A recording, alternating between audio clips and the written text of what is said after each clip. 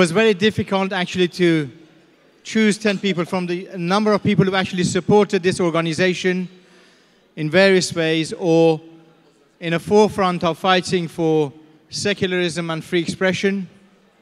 Um, there are so many people, and it's really difficult to choose 10 people. We decided at the end um, who there should be for this year. Um, I'm going to hand over to Maryam to announce the first winner of uh, Council of Ex-Muslim 10th Anniversary 2017 award. Here we go. Okay, thank you, everyone. Uh, first of all, we want to say that we've got some beautiful awards and they are the work of the brilliant Sodabeh Gashtasebi. Can you stand up, Sodabeh?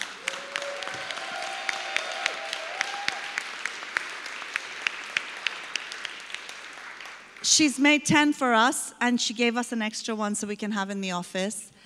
And uh, it's uh, one represents each year of the CEMB. And of course, when you look, you know, it, this was a really hard thing to do because honestly, if you look around this room, practically all of you, maybe all of you, practically all of you really deserve to get an award. But unfortunately, we've only been around for 10 years. So the next 10, you, you'll be getting yours next. so we want to give it to, we, it was hard, let, let's be honest, but there's some people that we just have to give the award to. And the first person we'd like to give the award to is our own, very own, our lovely, our wonderful Bonya Ahmed. Where is she?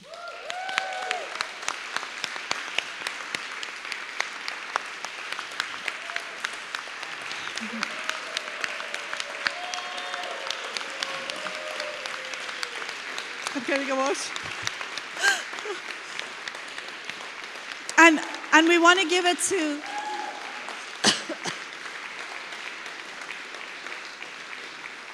and we want to give it to Bonya because she is really the spirit of resistance and resilience, not just for free thinkers in Bangladesh, for, but for all of us. We love you, Bonya.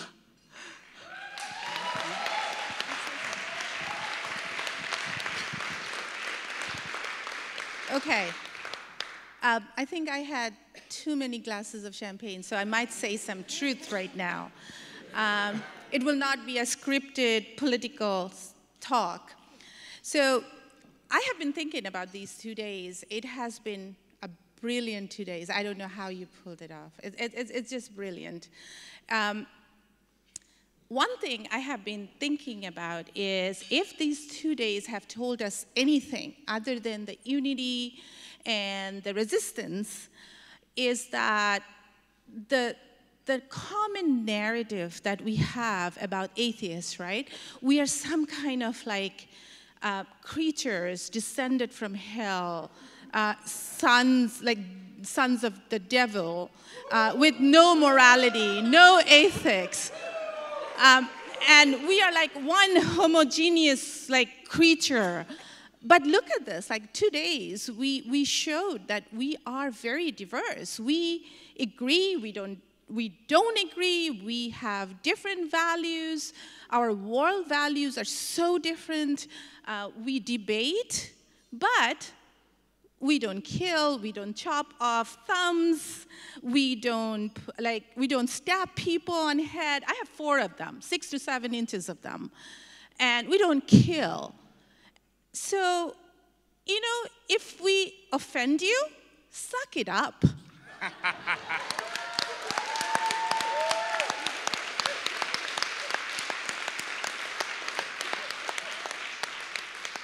so just as an end note, I'll tell you a story. Like, as much as I do, I'm not angry at the religious people, as much as I talked about all the, you know, political unity and, um, you know, all that love for the religious people and all that, I have been an atheist since the age of 12.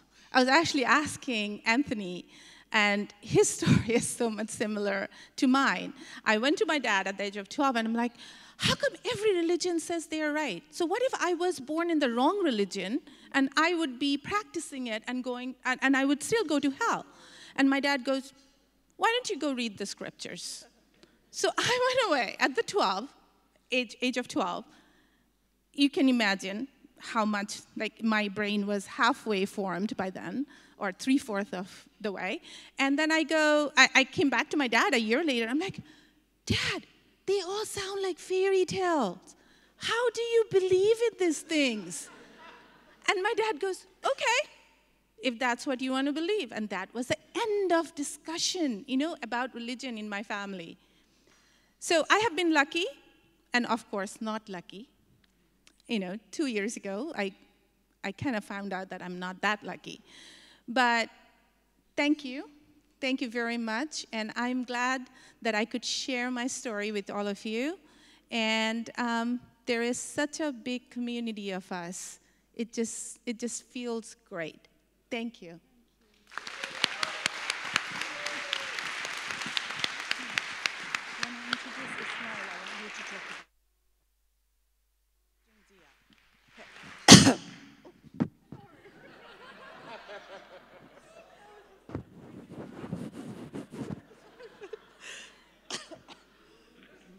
So uh, the second person that we want to uh, give the award to is someone who's not here. There's two people. Uh, they're not here. One has been sentenced to 10 years in prison and a thousand lashes. And his wife, that's Raif Badawi, and his wife, Ensaf Haidar, has been an unrelenting campaigner on behalf of Raif, but all political prisoners in Saudi Arabia, and for freedom of expression and conscience. And they have become heroes for all of us. They do represent uh, the resistance in, a way that many, many don't. A, you know, they're one of the greatest examples of it. Ensaf was very happy to win the award. We actually want to give it to both of them because I think we often hear Raif winning lots of prizes, but honestly, I think Ensaf deserves it just as much. Uh, and and uh,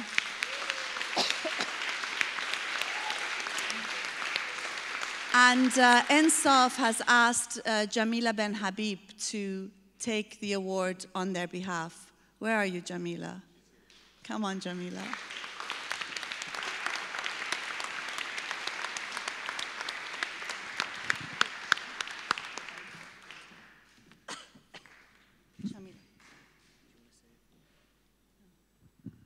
Thanks.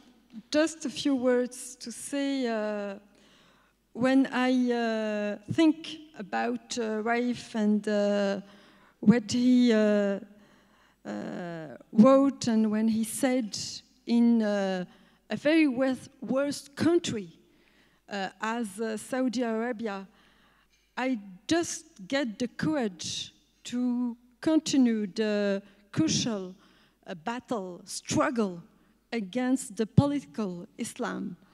And just say to myself if a person as Raif could say what he said in the worst country, so we should say more and more and lot of more than him in the democratic country. So please, uh, please uh, uh, write and uh, say and uh, create and resist and uh, together against the Islamism fascism.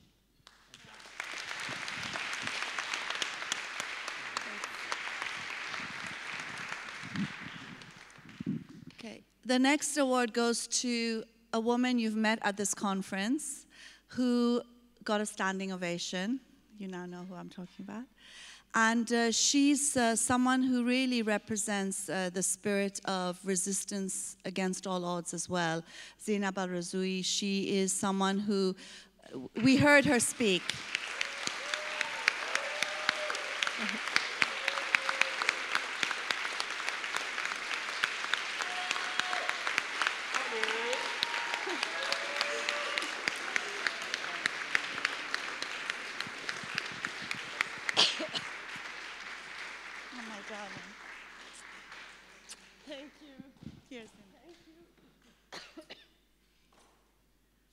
Crowds.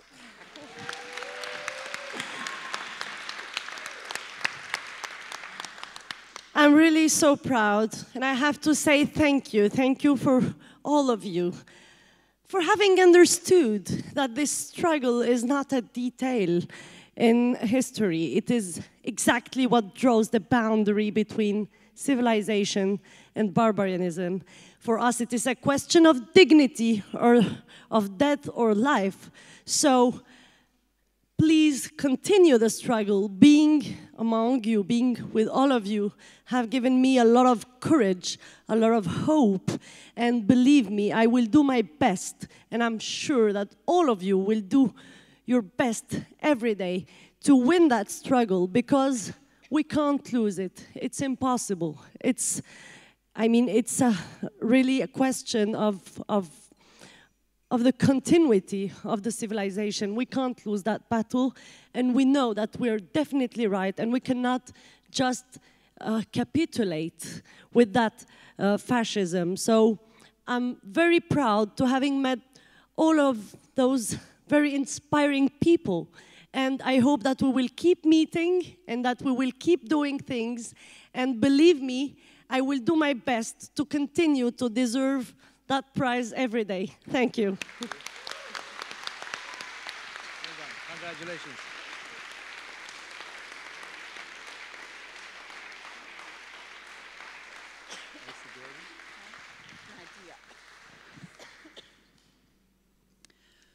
The next woman is a woman who has uh, put her great skills and her art into defending us uh, she made a film about us, a film that was shown on ITV, for goodness sakes. Uh, brought us into the mainstream. And in a sense, a lot of the support we got around this conference was because of the heightened visibility. Deeyah got a lot of shit for defending us, for doing a film about us. Why are you doing a film about ex Muslims, those troublemakers? And uh, she's a Muslim herself, and yet she stood with us and she made this most wonderful film. So we do want to honor her as well. I know.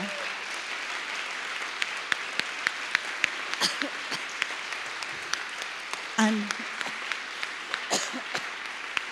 Deeyah is busy making her other film now, causing trouble somewhere else. And she's asked for Sadia Hameed to accept the award on her behalf.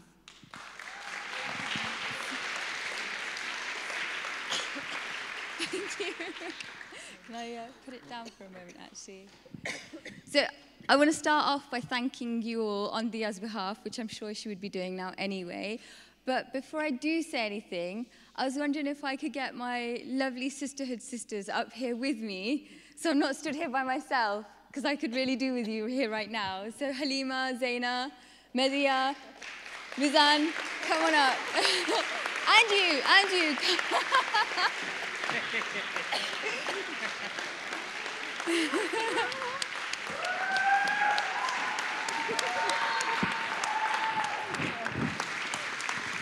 okay. I will try not to cry.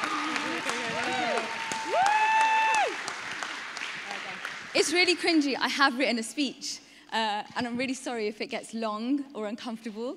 Um, and everybody's had such a lovely time, so I hate to put a dampener on things. But this is probably the first time I've been in a safe enough space to talk about, um, just to talk about this, really. Um, is it, can you hear me?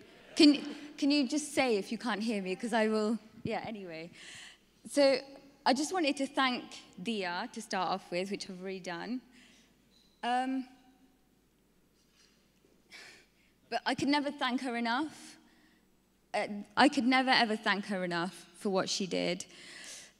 After the film was released, um, I gave some interviews, and I was always asked about why I why this film was made. Um, but I always found it very hard to talk about why, because I was suffering with crushing and destructive grief. I became involved in the film uh, to begin with, with for one reason and one person alone, and that was my brother.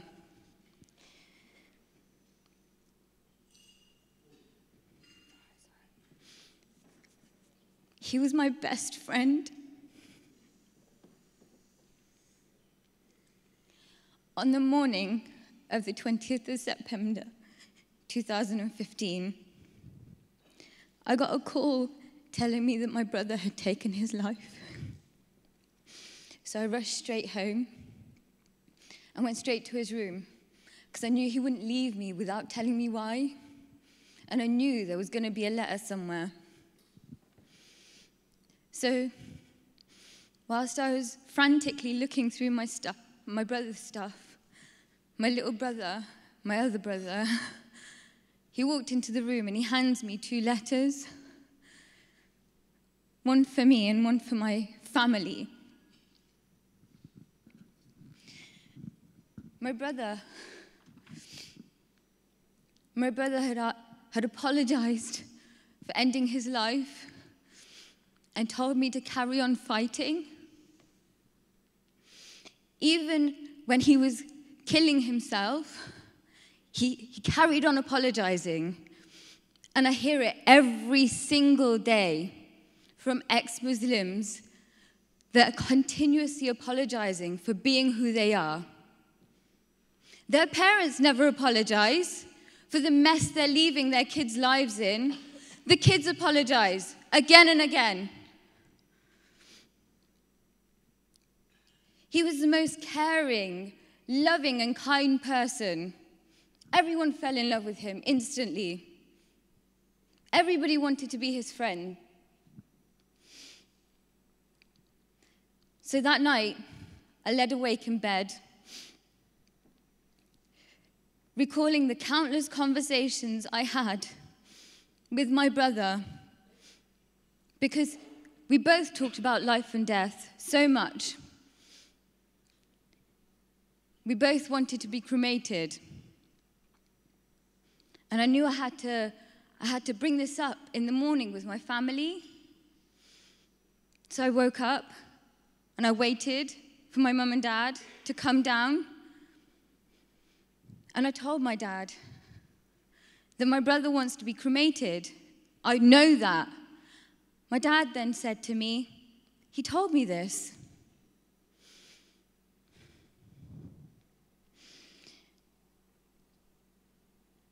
That was all ignored. By Tuesday morning, I had been broken down. Every single family member had bullied me continuously.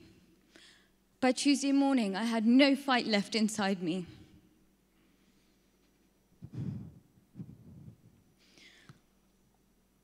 On September the 25th, uh, the 23rd, 2015, Wednesday morning, my brother was buried in the full Islamic way, in a full Muslim burial. And that still hurts so much.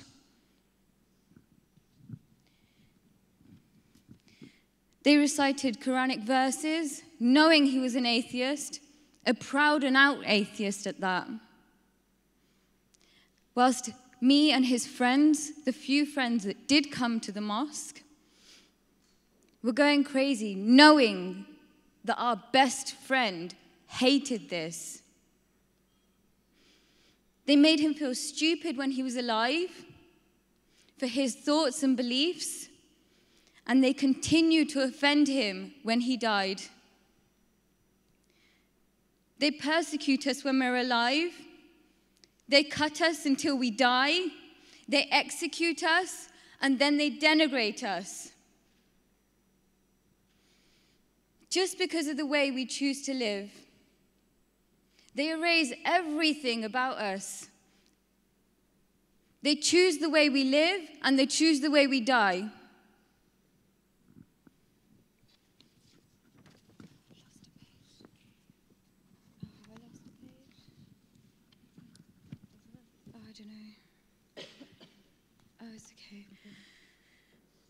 So, Deeyah's documentary was important because ex Muslims, atheists, free thinkers, we've all been persecuted throughout history in all periods. We were nameless and faceless and voiceless. Dia gave us a voice, she gave us a face, she made us human again. She not only shed light on the, the grief and the troubles of the living, but also memorialized those that were killed and taken from us far too soon. And for that, I can't thank her enough. Sorry.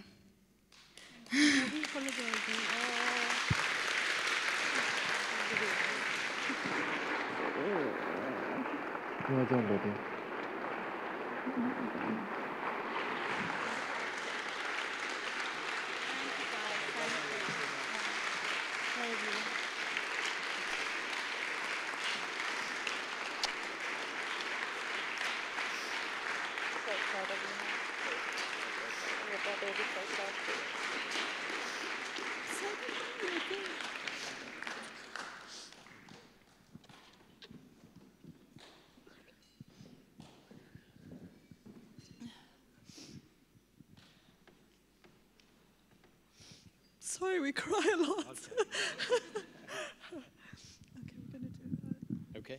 Right, okay. Okay. I want to do, no, no, no, hold on. Uh, are we gonna do it together? Okay. Right, um, it's difficult, isn't it now? Um, our next um, recipient of the award is AC Grayling. AC Grayling is one of, has been one of the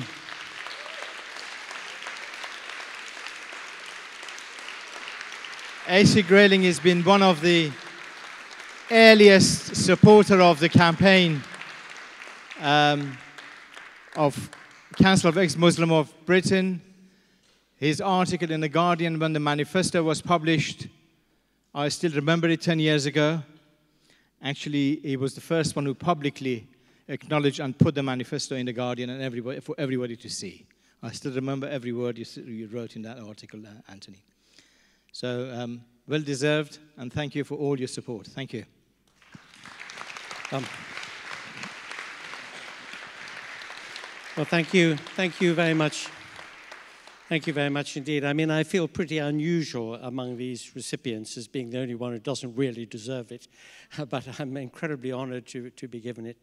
Uh, I, I feel a huge diffidence about it because there are so many people in this room, and we've just seen um, people who, unlike myself, who lives in a safe country and I can do these things and write these things without any fear at all, but, but people who do who, who do live their, their choice, their principles, their commitment with such extraordinary courage. And, um, and I, really, I dedicate uh, this to them rather than to me, although I'm going to keep it because it's very nice. Thank you. Excellent. Thank you. Well done.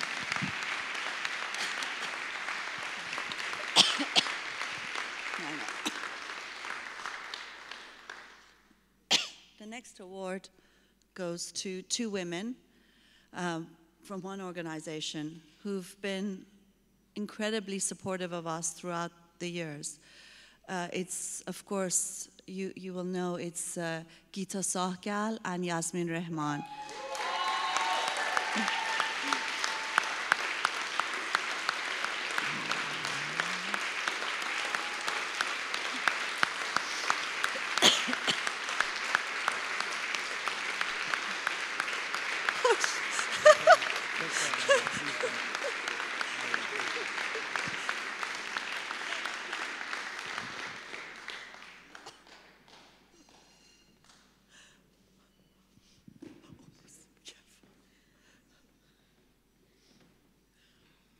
Good thing crying's allowed, isn't it? I don't know what to say because I have never faced what so many of you face every day. I'm a product of somebody whose family fought for freedom and who therefore grew up in freedom, and that included the freedom not to believe. It was as natural as breathing.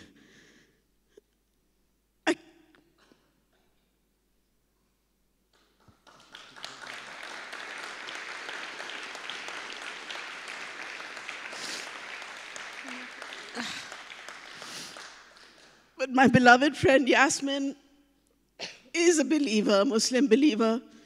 She's somebody who defends secularism. She says, I'm a feminist and a Muslim. I'm not an Islamic feminist. Her religion is her private business, her feminism is her activism and her public business. And she's criticized the text and says we have to look at the problems within the text.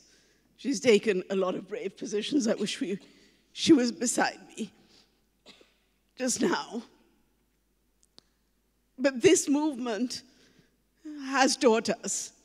Pragna sitting here, Pragna Patel, I've worked with her, I don't know how long, Pragna, over 30 years, I think.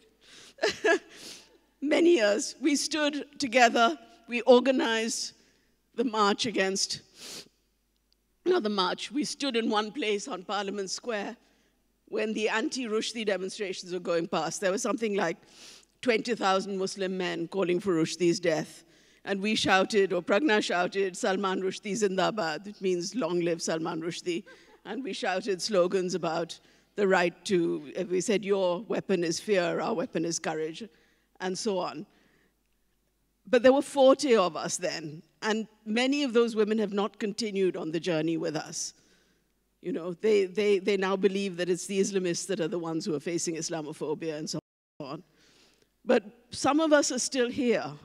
And when I went with CEMB on the Pride March and marched with these wonderful women who reclaimed their bodies, so there was a feminist part. I think gay pride has sometimes been a little bit of a boys' event. Um, but, you know, there we were together with pride veterans, with people who've been there ages, with, with people who uh, had never been there. I was there with a young person who, who actually I was present at their birth, who held up a banner saying justice for Xulhaz, the Bangladeshi blogger who was killed, and for the right to love. And that march, we must never forget, with all the political fights we're having with Pride, that march was an affirmation of CEMB and of the right to apostasy and blasphemy. It was an absolute affirmation from the thousands of people who lined the march. You know, when in 1989, there were 40 women facing a wave of hate. And when we marched this time, there were thousands of Londoners. Some of them cheered anything that moved, all the corporate banners and all of that, but you could see that they were getting the message. The Chechens who were there, the East Asians who were there, the Africans who were there, the Brits who were there, the kids who'd come out to support their lesbian best friend or, you know, something else. The solidarity was there.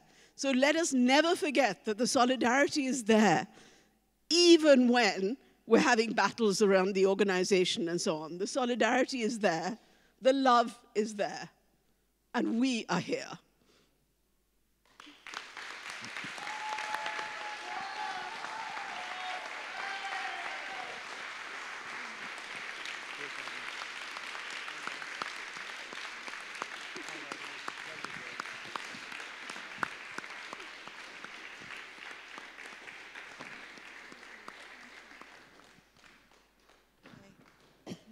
Sorry, guys, this is taking really long and we're loving it.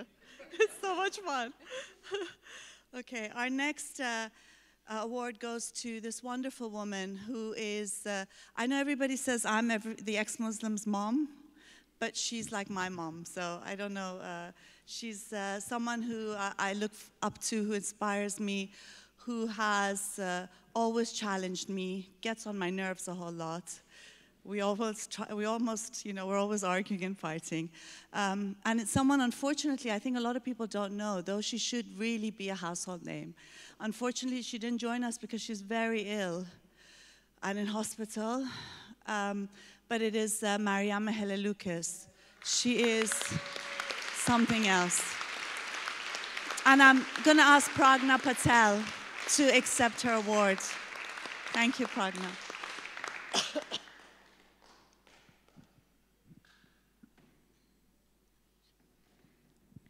Maryam, you've just sprung this on me. and I have to say something about our wonderful hero, Mariam A. Lucas. Hello, Lucas. I'll accept this award on her behalf. I'm honored to accept it on her behalf. She really is a hero for many of us.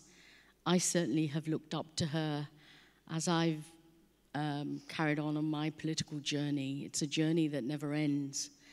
And people you meet along the way, like people I've met over the weekend here, are people who are, inspire you, who encourage you, and who affirm your struggle. And it just makes you want to wake up the next day making sure you never submit. And so,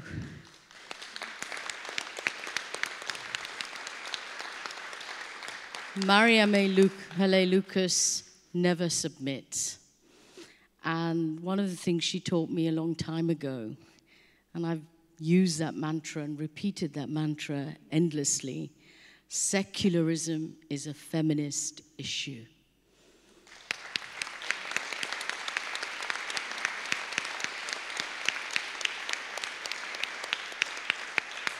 So, Marieme, wherever you are, I hope you get better.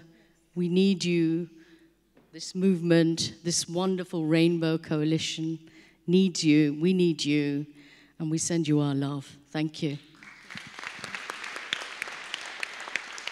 Okay, we have uh, three more awards left. Uh, the next award is for our own Ismail Mohamed that the bogus Egyptian government prevented from coming to this country.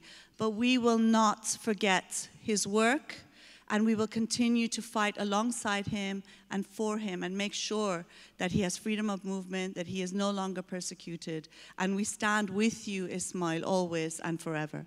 And I'm going to ask, I'm going to ask our own Imad Habibeddin uh, to accept the award on Ismail's behalf. Thank you. Thank you very much.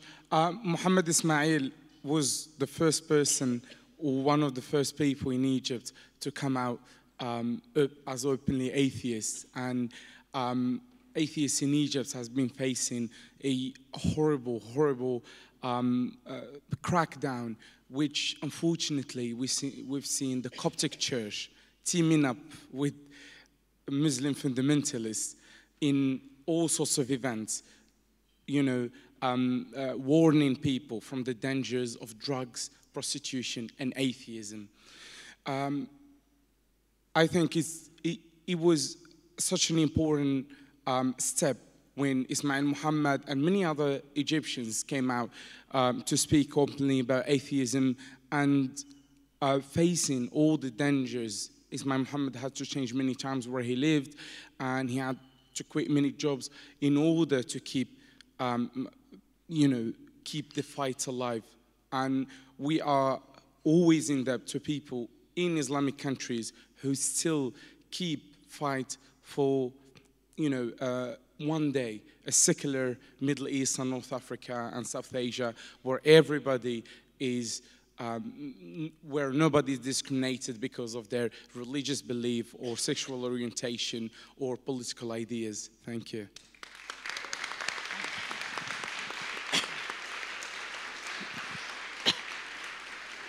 Our next winner is someone you were blown away with at this very conference, though we were blown away by lots of people, but especially this wonderful man from Jordan who is so brave and courageous.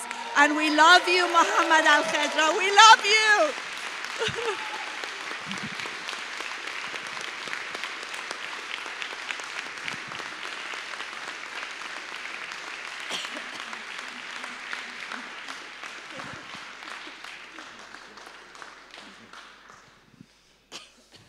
Hi again. so you make me speak twice in the same day, and I've been 25 years of not doing that. Okay.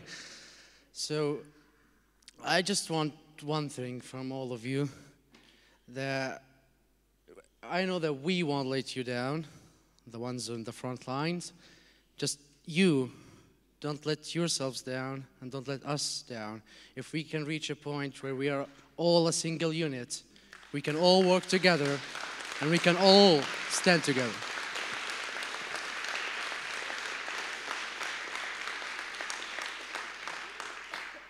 But I have something that I didn't face physical harm to myself or to my family because of religion. And I find that uh, this gift, or this prize, is actually, I, I know someone who deserves it the most, and you deserve it. You should have it.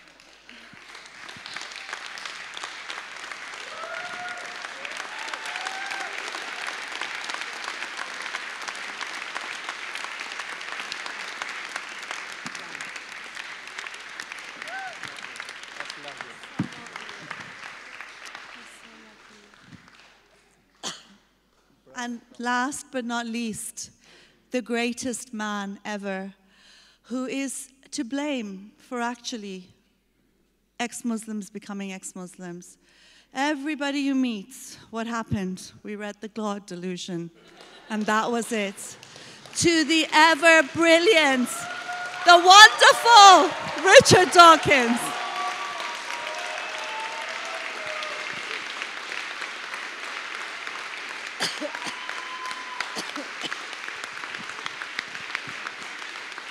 Give him his prize, baby.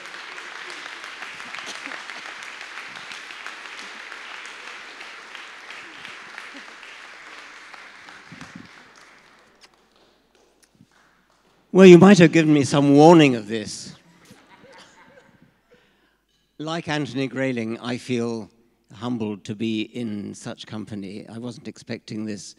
Um, we in this country and in America are spoiled brats by comparison with the people in this room's world. You are in the front line trench. You are the ones who bear the danger and the, the, the, the peril and the heartache uh, which religion can bring. We have it relatively easy. And you get it not only from the Islamic world itself, but you get it from those people in my world who ought to be your natural allies. I refer to the regressive liberal left. It's a kind of et tu brute moment. So I feel we're fighting on two fronts. We're fighting on the obvious enemies and we're fighting on those who ought to be our friends. I'm honored and privileged to have been at this conference among such people, and I'm honored and privileged to receive this award. Thank you very much indeed.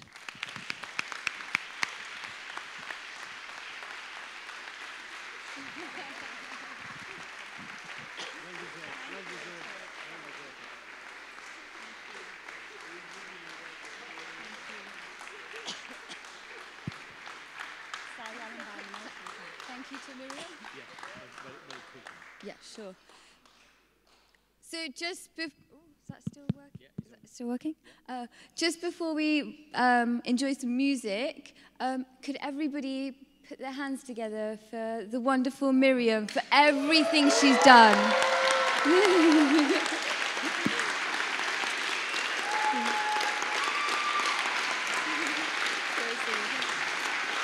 Thank you. Thank you, Sadia, Maryam, and Imad. And thank you all and the recipients of uh, awards from Council of Ex-Muslim Britain.